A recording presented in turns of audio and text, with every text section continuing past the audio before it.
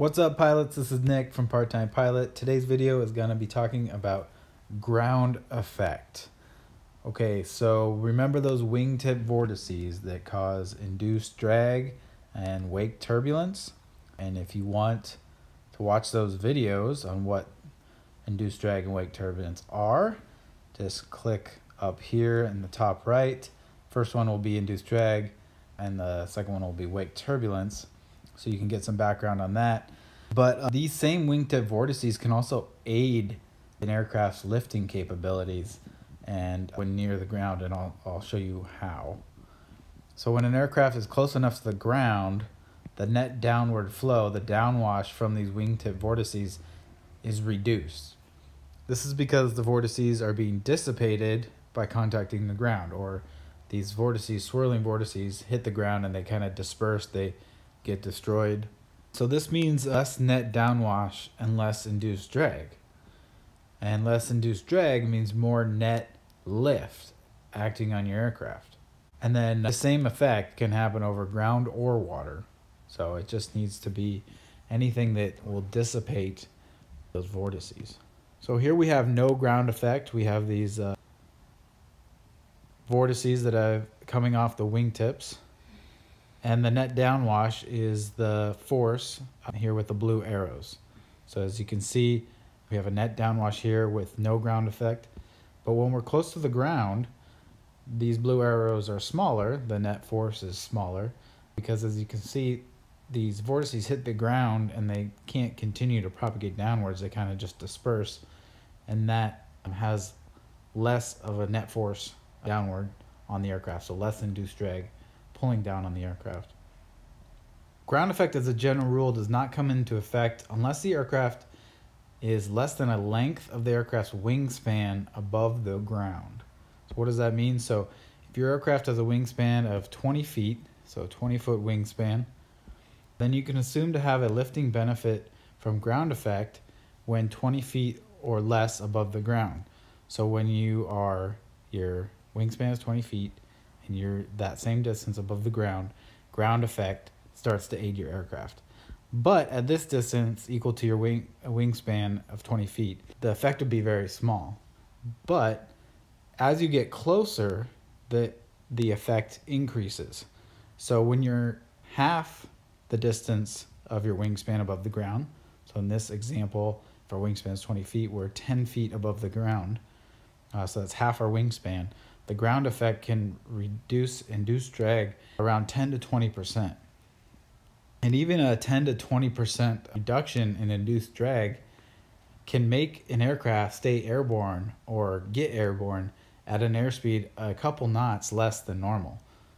So it, it even though it seems like a small effect, it can have a, a large difference on a large difference on how you operate the aircraft.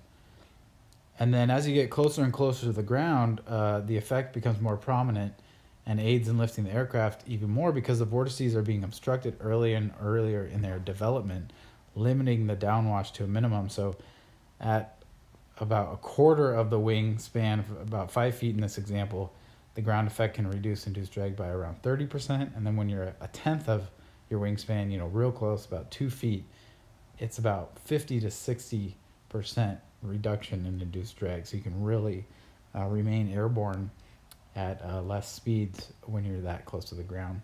So pilots should be aware of ground effect during both takeoff and landing, and you'll actually feel it when you start flying.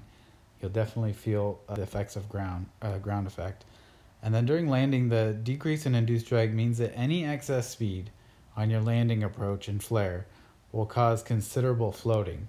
So, you know, if your aircraft, this is this is your aircraft, and you're coming in right here and you flare like this, if you have too much airspeed because you're close to the ground, the aircraft's not going to want to come down and you're going to keep floating. And if your runway's not long enough, you may have to do a go around because you're just too fast and you're not slowing down enough and ground effects is keeping you in the air.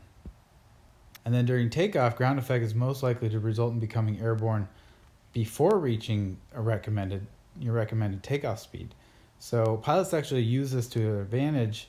For example, when taking off on soft fields, so like a muddy or a dirt field, maybe wet grass or something like that. By lifting off the soft ground early and staying in ground effect until flying airspeed is reached. So here, let's draw our aircraft again. So it's a great aircraft, I know. So this ground is, let's say it's like mud, a little bit muddy, and you're worried about your, you know, your nose wheel or your, your tail wheel or something getting stuck in this mud. So what you'll do is, you'll take off as soon as the aircraft lets you and ground effect lets you. So let's say normal rotation speed is, you know, 60 knots. You may be able to rotate at 50 knots, especially if you have flaps. And so you can get up in the air, but you, now you don't want to get uh, immediately climb and get out of ground effect because you'll you'll stall because you don't have enough airspeed. But what you do is you immediately kind of pitch down and stay at this you know distance of about five feet or so in ground effect, and then you can speed up. So let's say you lift off at 50 knots, and then you just stay at about five feet above the ground until you reach, you know, your rotation speed. I don't know, 70 knots or so. And then and then you can climb once you reach that speed. And that allows you this whole distance to stay off the ground stay off the soft field and uh, can be a very useful trick. So that's all i have for ground effect. I hope you guys understood it. If not or if you have any questions please comment below. And if you're not subscribed already press the subscribe button. And then always follow me on instagram at part period time period pilot and stay tuned for more videos. Thanks guys